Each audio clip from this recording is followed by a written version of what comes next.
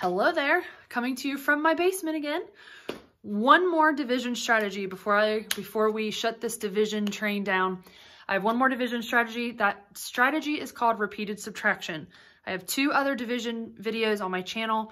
One is just basic division principles and properties, why we divide, how to divide, and the other is the distributive property. And so go check those out.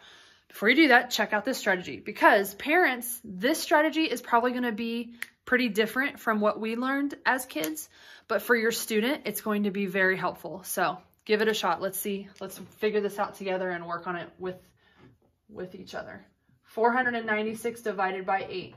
This is the same problem that I used on my distributed property um, strategy that hopefully that'll help you see two different ways to do this. So the first thing we do is list our multiples.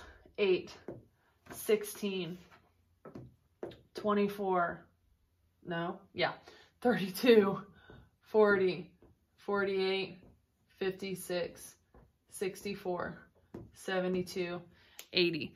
First thing you need to do is list your multiples. That is going, I call, for my students, we call that our tower of strength, our safety net of information.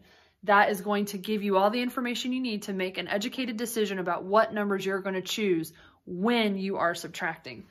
So what we could do, we could take away 8 here, and we would have to borrow to make this work, and we would get 488. How many groups of 8 is 8?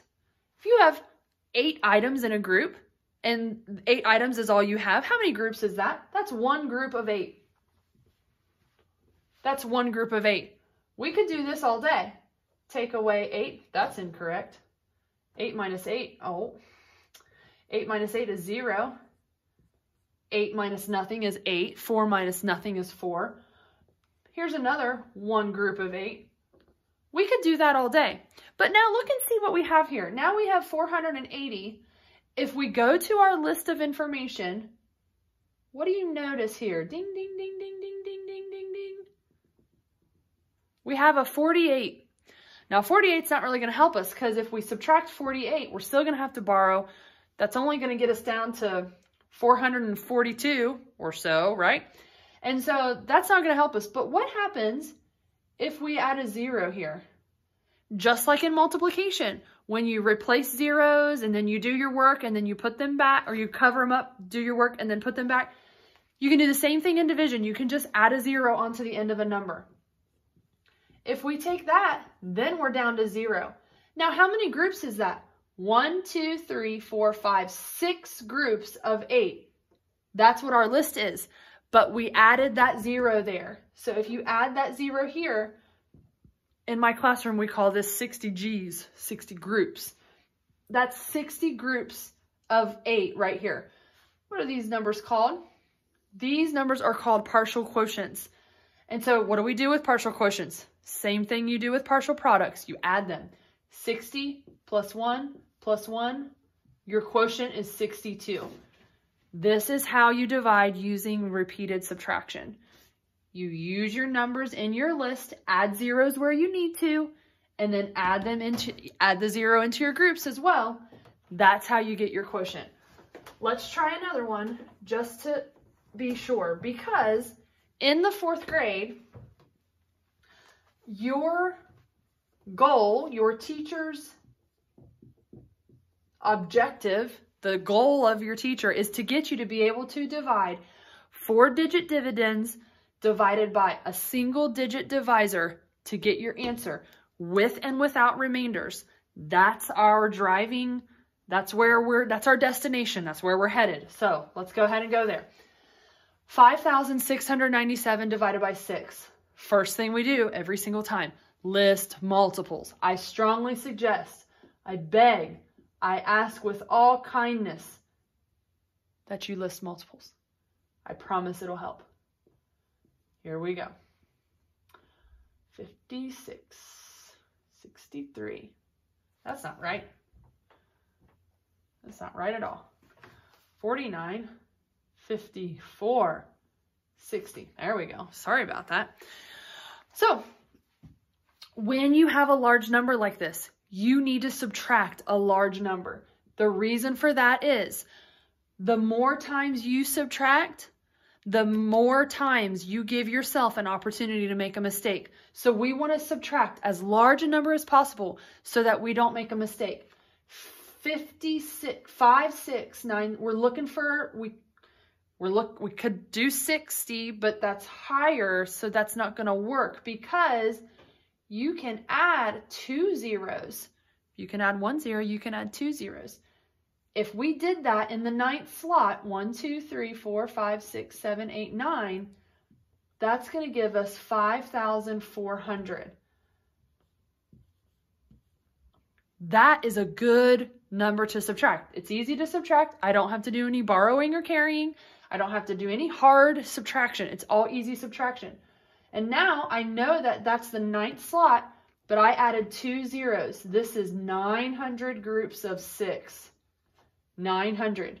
Now I'm going to subtract again. I'm doing repeated subtraction. I'm going to subtract again. So I'm not going to use the 54, right? Because that's, if I added a zero, that'd be 540, and that doesn't make sense. I'm going to go up here and I'm going to, I can't use the 30 because if I added a zero here, that'd be 300. And if I have 297 items, I can't take 300 items away. So I'm not going to do that. I'm going to pick this 24. 240. 7 and 9. How many groups of 6 is 240? 1, 2, 3, 4. I'm in, whoopsie daisy. I'm in the fourth slot and I have added one zero. I have 40 G's right here, 40 groups, right? Okay, now 97. What number can I use to subtract 97? Well, I'm going to go with 60 because it's the biggest number I have. There's nothing here I can add a zero to. So that's a 7. That's a 3. The 60 is in the 10th slot. That's 10 groups of 6. Now here I am at 37. What? I've made a mistake somewhere. Oh, yeah. See what I mean? I'm so happy that this happened. See what I mean? I know that I've made a mistake because I have an answer key and I'm a teacher and it's how this works. But you're not, and every time you subtract, you have the chance to make these silly mistakes. Look here. 9 minus 4 is not 9. 9 minus 4 is 5. So I can't use this 60. You see what I'm saying? You see how easy it is to make a mistake? You can't use that 60 now. I've made a mistake here. You have to be so careful about your subtraction. You have to be so careful about making sure you're writing down the right thing. So here I'm at 57, where I was supposed to be.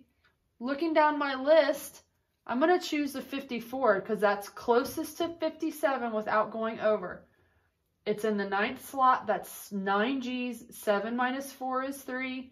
Now, now I have a 3. I need to take 3 because my goal is to get this number to 0. That's, that's the ultimate goal, but it's not always going to happen. When it doesn't happen, that's when you have a remainder. Can I take 6 away from 3? No. That means this number is my remainder. So I'm just going to hold on to that remainder down there until I add up my partial quotients and find out what my answer is. 949, 949 with a remainder of 3. Circle your answer. Always circle your answer. This is how you find division. This is how you figure out division using this repeated subtraction strategy. I hope this helps you. If you thought that this was more confusing than the, or this was hard, you didn't like this, you're like, this doesn't make sense, the list, the zeros, I don't know go back on my channel, find the distributed property, and see if that helps you better. And um, this is a great strategy for fourth graders, and I hope that this helps you and that this will help you have success using division um, in the fourth grade.